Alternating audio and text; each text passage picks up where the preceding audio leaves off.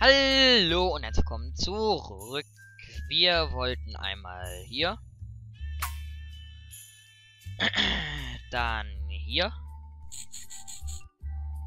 Dann hier. Lass uns die Pflanze umklopfen. Es heißt um Ja, ja. Dann In hier. diesem Bild gießt nützlich Boy die Blumen vorm Tiefparterre Cave. Schön. Dann hier. Was hältst du davon? Und ich, Ich esse. Ein wenig Dünger.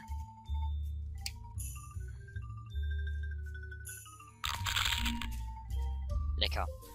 Knusper, knusper, Knäuschen. Wer knappert an meinem Kabäuschen? Sie ist bis zur Tür gekommen. Aber jetzt hat sie ein Problem. In der Tat. Kannst du mit der reden? Ich habe mal gehört, dass Pflanzen besser wachsen, wenn man ihnen was vorsingt. Bibidi bi, bibidi ba, bibidi bu bu. Skibidi bibidi bubidi baben baben bab bab dubidi du. Yeah. Leider habe ich kein Maßband. Mich würde interessieren, ob ich Erfolg hatte. Die ist bloß Dekoration. Ach so. Oh, Schild haben wir noch. Dann sieh dir mal das Schild an. Nur für Personal. Dann nehmen wir es auch mal gleich mit. Schade. Fest. Schade, fest. Hallo? Jemand zu Hause? Ich komme jetzt rein. Hm. Keine Reaktion.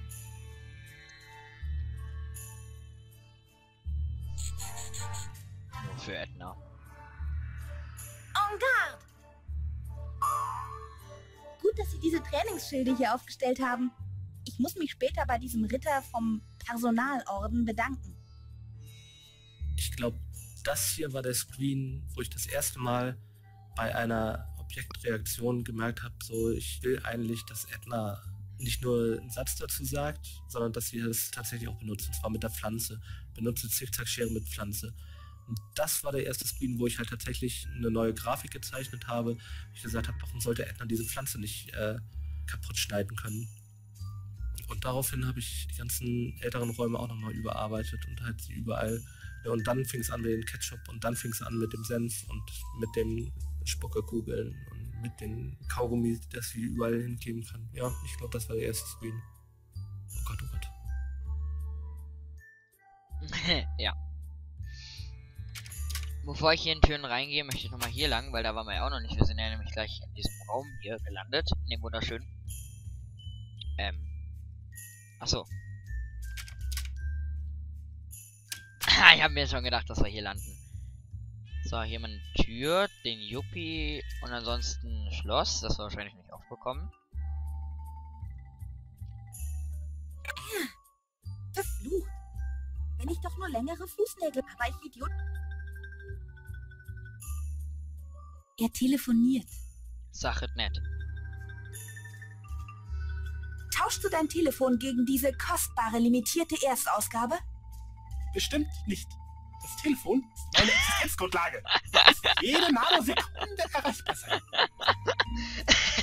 Sehe ich ja jetzt erst.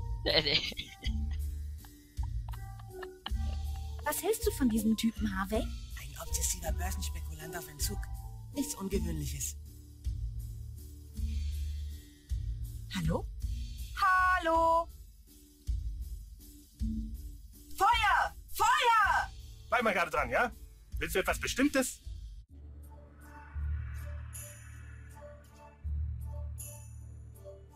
Kannst du mal kurz mit dem Telefonieren aufhören?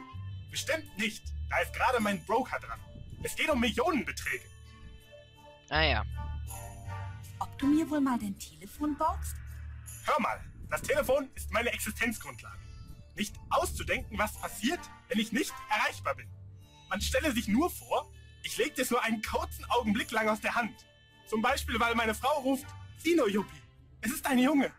Und man stelle sich weiter vor, in diesem kurzen Augenblick, in dem ich zu meiner Frau hinüberschiele, fällt der Kurs meiner Aktien ins Bodenlose. Ich würde Millionen verlieren, weil ich nicht am Telefon war. Nur einen kurzen Augenblick lang. Ein einziger Augenblick der Achtlosigkeit. Und mein ganzes Leben ist zu Ende. Ah! Yeah. Ich bin froh, dass wir nicht in der Ehrenanstalt sind. Du kennst nicht zufällig einen Weg hier raus, oder? Nein, aber du willst hier sowieso nicht raus. Glaub mir, die Welt da draußen ist ein brutaler Ort.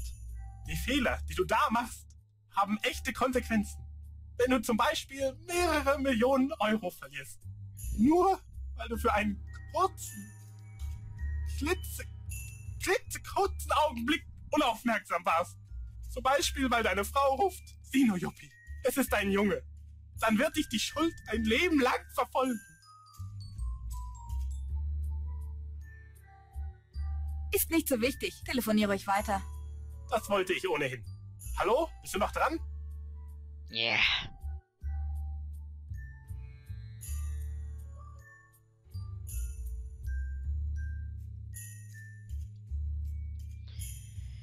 Ich glaube, hier kommen wir nicht weiter. Gehen wir mal durch die Tür. Ähm.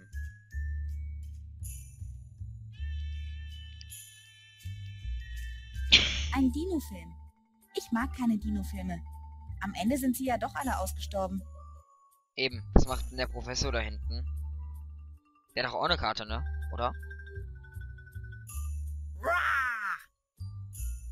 Okay, das hat sehr viel geholfen. Lass das. Ich muss wissen, wie es ausgeht. Wie es ausgeht, okay.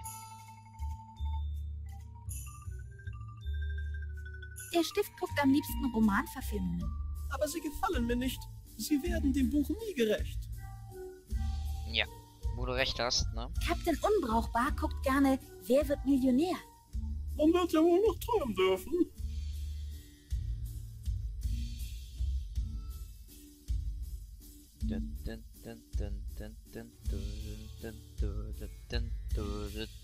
Topfpflanze haben wir hier noch. Ihr scheint das Fernsehprogramm zu gefallen. Es ist genau ihr Niveau. Ich habe keinen Fensterplatz und den Fenster... Von dort, Was? Ich habe keinen Fensterplatz in meinem Nachthemd mehr frei. Und den Fensterplatz in meinem Herzen hat Harvey. von dort spucke ich auf vorbeikommende Passanten.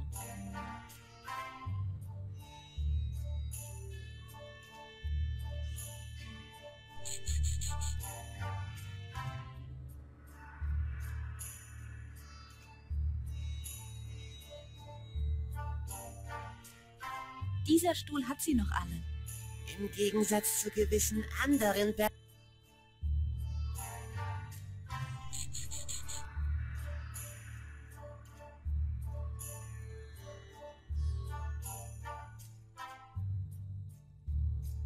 Was hältst du davon, Harvey? ein selten hässlicher Esel. Es ist ein Sessel, Harvey. Ein Sessel. Schrei mich nicht so an. Im Gegensatz zu dem Esel besitze ich Ohren. Hallo? Yeah. Hey! Du musst dich nicht vor mir verstecken. Wer weiß, du könntest ja auch eine verkleidete Velociraptor sein. Ich heiße Edna. Angenehm, ich bin Professor Nock. Nett, dich kennenzulernen. Was machst du da hinten? Ich betreibe Nachforschung in Paläontologie. Hinter dem Sessel? Wo sonst? Eine prähistorische Skelett liegt nicht einfach in die Mitte des Zimmers. Das wäre dann nämlich längst allen aufgefallen. Das leuchtet ein. In der Tat. Bist du etwa einer von diesen verrückten Wissenschaftlern? Unerhört, was bildest du dir ein? Die Jugend von heute. Sie sehen einen weißhaarigen Mann, der in einem Irrenhaus hinter einem Sessel kauert, und schon bemühen sie wieder dieses alte Klischee vom verrückten Wissenschaftler. Es tut mir leid. Ich wollte dich nicht beleidigen. Darf ich bitte den Kanal wechseln? Auf keinen Fall. Ich muss wissen, wie es ausgeht. Das Schicksal der Menschheit hängt davon ab. Ja. Wohl eher von den Dinosauriern. Die Dinosaurier sterben aus. Das kann nicht sein. Sie verstellen sich, um uns in Sicherheit zu wägen. Was haben Sie nur vor? Wollten Sie etwa insgeheim die Polkappen schmelzen? Du kannst umschalten. Ich muss Vorbereitungen treffen. Okay. Dann benutze mal den Fernseher. Willkommen bei den Börsennews. Hier geht es nur um zwei Dinge. Kaufen und verkaufen. Na toll. Vom Regen in die Traufe. Ja. Kannst du nochmal umschalten? Ich lasse das jetzt an. Es läuft ja eh nur Mist. So sieht's aus. Ähm. Dann benutzen wir jetzt erstmal den Lichtschalter. Oh.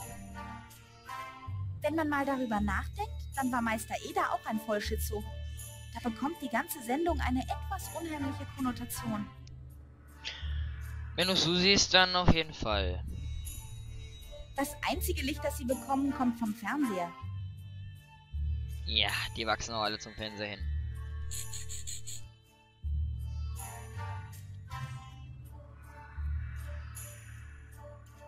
Der Künstler war offensichtlich schwer depressiv. Kannst du es mitnehmen? Den hässlichen Klumpen? Ach nö. Sag mal, der Professor, wieso? Der hat doch ein Ticket. Hallo, Professor. Angriff der Flugsaurier! Oh, du bist es nur. Hello, Edna.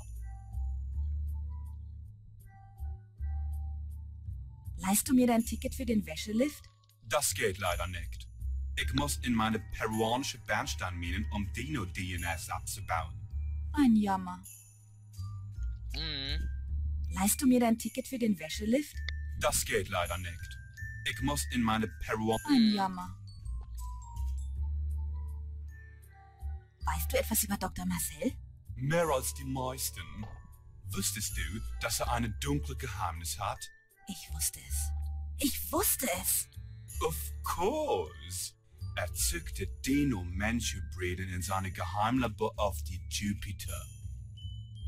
Die Jupiter. Das wusste ich doch nicht.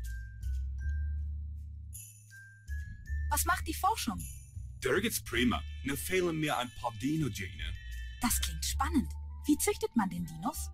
Na, das weiß doch nun wirklich jeder. Dinosaurier schlüpfen aus fossilen Bernsteineinschlüssen. Ach so. Ich schaue später nochmal vorbei. Wenn die Welt dann noch existiert, meinst du? Ja, plus minus zehn Minuten. Ja, in diesem Screen enttarne ich eine weitere meiner Inspirationsquellen für Nachricht aus, wenn nicht die wichtigste Inspirationsquelle.